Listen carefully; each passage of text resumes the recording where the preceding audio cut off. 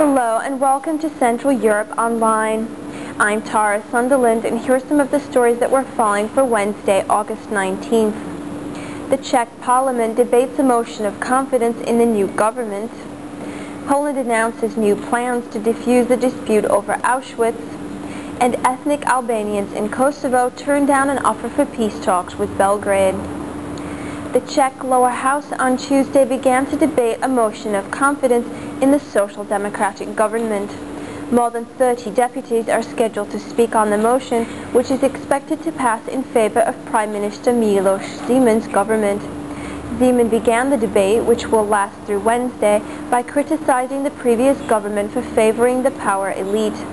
He vowed to create solidarity with the poor and elderly, the Social Democrats program, which the Parliament is currently debating, calls for balanced budgets in the public financing and a completion to the bank privatization program.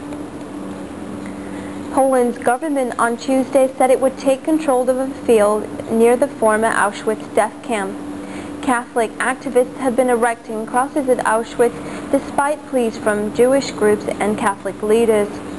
Prime Minister Jerzy Buzek said the government would annul a 30-year lease for the land, which is owned by a group linked to the people who have been planting the crosses.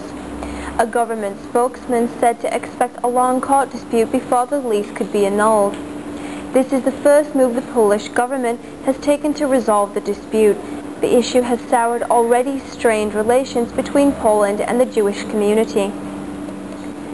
After insisting Serb military action must be stopped first, Kosovo Albanians turned down an offer to begin peace talks with Belgrade on Tuesday.